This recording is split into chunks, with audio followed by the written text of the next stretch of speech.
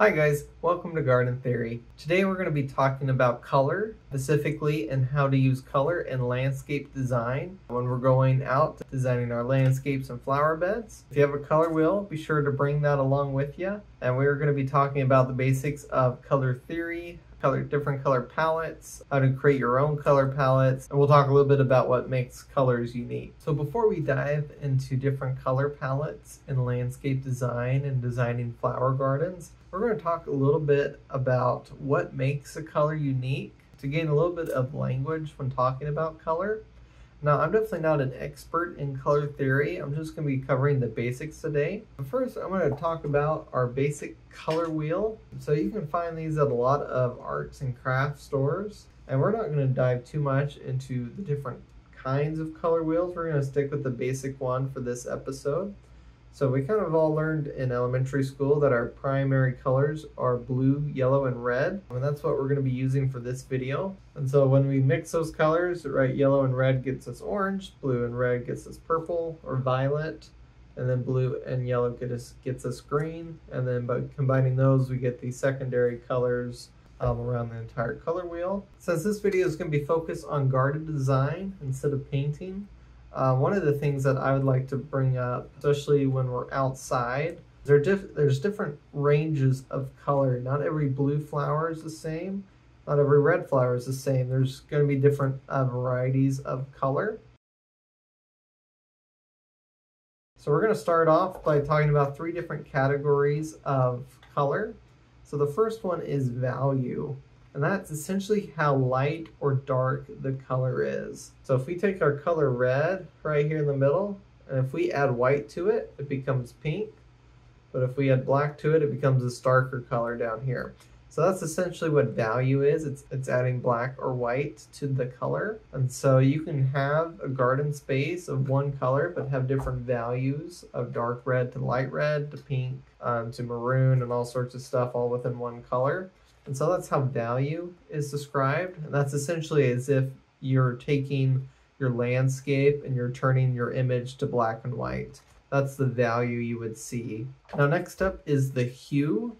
And so the hue is the range of what color the flower is based on its location on the color wheel. So every color is a different hue of light because that's what we see, right? It's the reflection of light off of something that gives us the color. So the hue is basically describing uh, what is the, um, where is its spot on the color wheel. Um, and so that's what hues are. You can have different hues of red, purple, and blue, um, and everything kind of transitions into one another. There's no really hard lines in color. And the last one is saturation. Um, so saturation is essentially how rich the color is. Is it very saturated red or is it a bit more lighter, um, going into pastels type colors, or is it kind of muddy? Um, it's kind of dark, um, got a little bit of color in there, but it's a pretty muddy color. And so that's essentially how you go. You go from muddy to pastels to saturated. Um, but those are going to be the main terms that we're going to be using in today's video. So first off, uh, before we go into specific examples, I wanted to uh, define some of the main color palettes that you can use. So the first one is monochromatic, which is essentially just using one color on your color wheel. So for example, using all red flowers. Now you can use a variety of different values, saturations of red in your design, which gives it variety, um, but you're all but it's all under one color. I may mispronounce some of these words, but the next one is analogous, uh, which is using uh, three colors that are next to each other on the color wheel. So for this one, it'd be using red orange, red, and then red violet. So those would be three colors next to each other on the color wheel, and you would only use these three colors, and again, different tints and, and values of each color. And the next one is complementary colors. So those are colors on the opposite side of the color wheel. So yellow and purple, red and green, and blue and orange are all complementary colors. As well as as you move your way down, uh, each one has a color on the opposite side of the color wheel. So the next one is triadic, which would be like red, yellow, blue, or orange, green, violet. And so those are using three colors that are equal distance to each other on the color wheel. Our last one is tetratratic, if I'm saying that correctly. And that's essentially making a rectangle on the color wheel.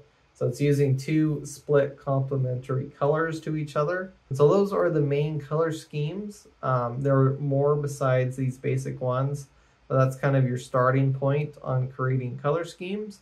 Now we're going to dive into a few examples and kind of talk with you about how you create your own color scheme when you're designing a flower garden or any landscape in general. So another example of a color scheme is using what some people will call warm and cool tones. So warm tones typically refer to anything that's red, yellow, and orange, and cool tones refer to anything that's green, blue, and purple. So a lot of times you can provide contrast by having something that's maybe mostly warm tones with a few cool tones intermixed and vice versa, because those two colors uh, reflect different emotions that people have. Um, warm tones tend to be more exciting, and cool tones tend to be a bit more calming. So that's another way that you can play with different colors. All right, so I've come up with a few examples of some gardens that I have been to um, to kind of describe some of these color schemes that we have going on. Um, so this is our first image. As you can kind of guess, there's kind of two main colors. Uh, but it's this yellow from the black-eyed Susans and the purple from these annual heliotropes. Um, we also have a little bit of pink from some petunias, I believe, and as well as this kind of kind of greenish purple color that's really muddy from the uh, grasses. Um, but you can kind of see this is mainly a complementary color scheme with the yellow and purple as our main contrast. Um, so that's one example of a color scheme. Yellow and purple are pretty often used because those are pretty easy colors to find when you're at the garden center looking for good colors to add to your space. So I think that's a really good starting point when you're experimenting with color schemes. Yellow and purple seems to be a really good one for a lot of people. So this next one, we have these red, kind of maroon, almost coleus in the background with these really nice light pink um, geraniums and again with that purple uh, heliotrope. So if we're looking at our color wheel again, um, I know I'm a little small on the image right now, uh, but just looking at it, we have kind of a red, a really muddy red color with the pink, which is a different uh, tint of red, and then the purple. So we kind of almost have an analogous uh, color scheme here with the three colors across the color wheel. Uh, the only thing that we probably would need is maybe a bit of red violet. But again, this is mainly three different colors. Um, so this is another way you can use colors that are pretty closely related to each other on the color wheel to create a, a pleasing um, arrangement. So this is the next one has a bit more of a variety of different colors on it. So we have five total colors here. I know something I, I forgot to mention earlier um, with the color green. Uh, that's kind of our base color when we're talking about gardening. So a lot of times that green from the foliage is kind of pushed to the background in our minds. A lot of times we're just focusing on the color of the flower. So that's why I'm not including the color green in some of these arrangements. Uh, but this one's an except and is an exception because we have this lime green kind of chartreuse type color from the sweet potato vines in this. And so that uh, attracts our eye, so that's why it's a part of this color palette. But we got a lot of different pinks and purples in this one. And again, we have the yellow from the Black-Eyed Susans. And then we have a little bit of orange. Um, they're a little hard to see. Um, they're mostly in the background. But again, we got purple, pink, and then orange. And then with the lime green kind of being that contrast against a lot of those warmer colors. If we had a bit more blue in here, we would almost have a terratic color scheme. But it's mainly a, a warm, analogous color scheme with a bit of that light green contrast to the warmer colors. So this is an interesting one, but you kind of see how all these colors um, pair pretty nicely with one another. So here's our next one. So this one, again, kind of got three main colors that are related to each other. We kind of got this blue, blue-violet going on with the floss flower, then we have the nice rich uh, red violet color, and then we have a bit more of this uh, light pastel purple. And so those are three analogous colors that are next to each other on the color wheel. And so that creates another uh, pleasing um, arrangement uh, with the cool colors. So here's another one uh, that we got here. So this is another, a uh, lot of purples and pinks in this one, so a lot of analogous colors. Uh, but again, we got that lime green from the, uh, excuse me, from the sweet potato vine, as well as some dark green from some of this parsley that's in the middle right there. A little hard, a little hard to see, but it's right here.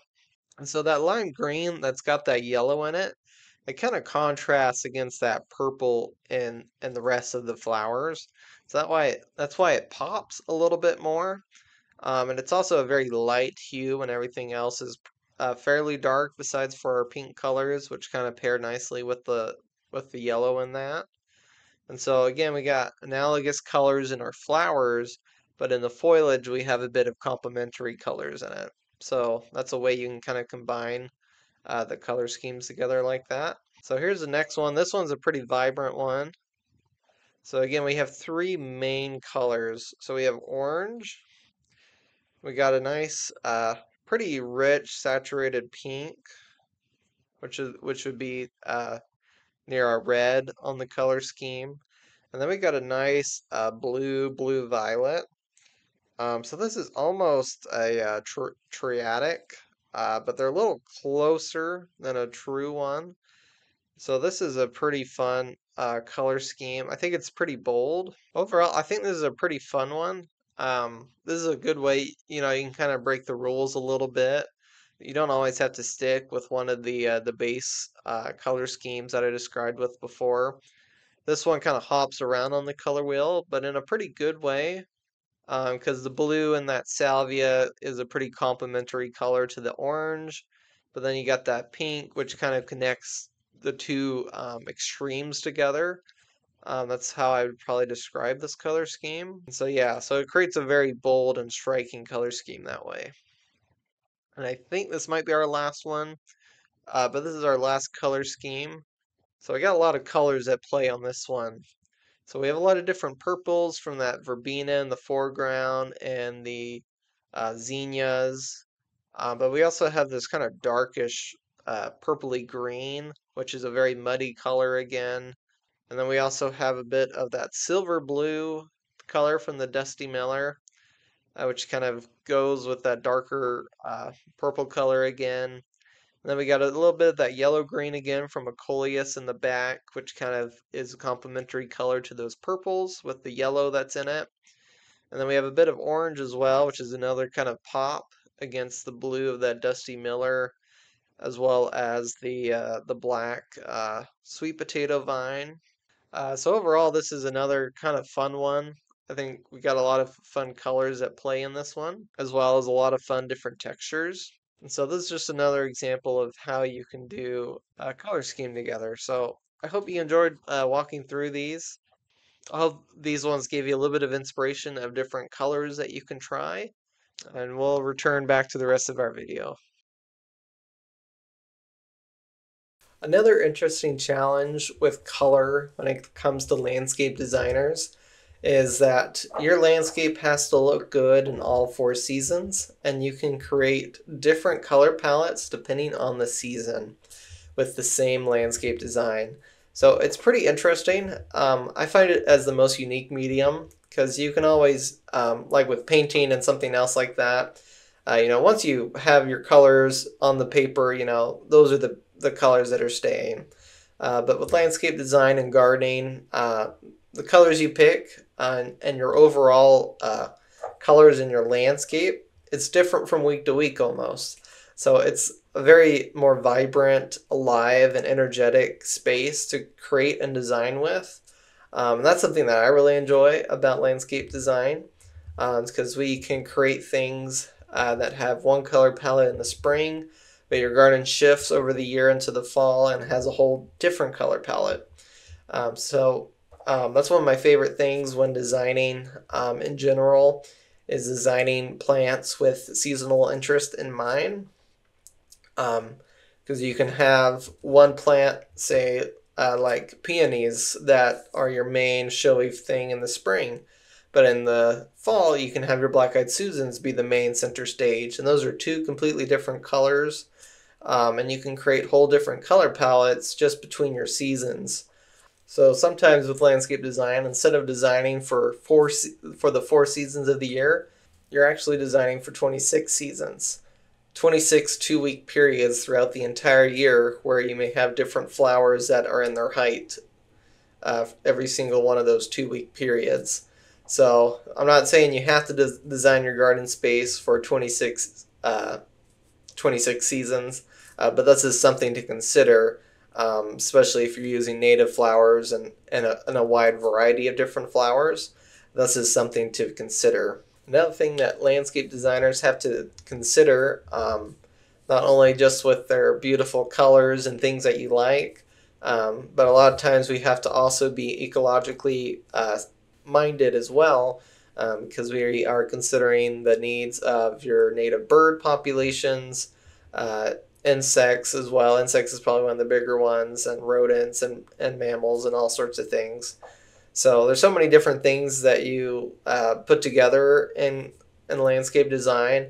Um, for me, it's just extremely fascinating how many different um, inputs and, and outlets that people have, and there's so many different opinions. Um, there's so many right ways to do something. Because you can have the same set of problems on a site, and you can have 10 people take a look at it, and all 10 of them come up with 10 different solutions that are all viable solutions. So it's really interesting to see um, the creative aspect in landscape design uh, within the framework of all these decisions that we have to make. So that's one of my uh, favorite things about landscape design.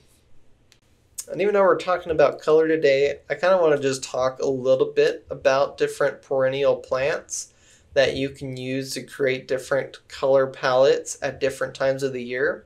So I know sometimes all this information that you need to create a really pretty uh, and beautiful garden design, it can be a lot to intake. Um, so I definitely recommend having a, a written plan on what you want to do. And if you want to learn more about how to create a landscape design for your own personal property, I did a whole video talking about the seven steps on how you can do that, and I'll have it linked above my head. Definitely recommend to go and give that a watch if you want to learn more about this process. Uh, but for right now, I'm just going to talk about some of the different plants that I would recommend. So I'm going to mix in some native and non-native plants, but one of those really good early spring bloomers is golden ragwort. It's a native perennial plant uh, that grows well under trees. Um, creates a beautiful yellow carpet in the spring. Uh, you can pair it nicely with Virginia bluebells that will bloom around that same time also. Um, if you want a good early uh, or an early late uh, winter bloomer, you can always do hellebores or Lenten roses. Uh, I believe those are non-native, but they create a really beautiful um, flower uh, in that time of year, and then the rest of the year they create a pretty nice ground cover with their kind of unique, kind of broad shaped leaves. Um, alliums are another good kind of late to early summer bloomer as well as all your bulbs are really good for that spring bloomer and you can pretty much get any colors of those blue false indigo is another good spring bloomer uh, that's pretty vibrant uh, for your early summer midsummer stuff like coneflower bee balm uh, phlox is another good one um, and then moving on into your late summer early fall that'd be like your black-eyed susans your asters you could also do a variety of grasses like uh, northern sea oat. Starts looking really good in the fall, as well as like your pansies and violas for your fall to, to the early winter stuff. So that's kind of how you can transition back to your hellebores after your pansies and stuff. It's a little tough, um, you know, in your mid-winter stuff, but you can do things. Uh, this is more of a shrub, but you can do uh, like witch hazel it's a good late fall to early winter one uh, that can kind of bridge that gap. I think paper bush is another good one around that same time, but I think witch hazel is a bit more showy than paper bush, least from the ones that I've seen. Um, but those are would be ones. I think camellias are a good late winter one as well. Uh, but those those are all just plants that are just coming to mind. I didn't have a, a pre-organized list. Uh, but those are all ones I could think of that would go across your entire calendar year. But again, you could create all sorts of different color palettes based off of off of those ones. So that's just an example of how you can plan for all 26 two week seasons in your year. Um, but again, sometimes it's a lot to process. Um, if you're new at it, I would recommend just starting with your four seasons. Have at least something that's going to be your main spring interest, your main summer interest, your main fall, and then your main winter. And again, stems can be a winter one as well, like red twig dogwoods could be your winter interest. So there's a lot of creative ways that you can find things to do that way. So thank you for watching this video uh, about color theory, and I hope that y'all enjoyed it quite a bit. I know this is more of the basic rundown on how colors work. Um, so I hope you enjoyed it. Um, if we want to do more of a deep dive, I'll have to do a bit more research into it. Uh, but comment down what are some of your favorite color schemes that you like to see in different gardens. And thank you again for watching this video. And if you enjoyed this video, feel free to subscribe. And thank you for watching Garden Theory.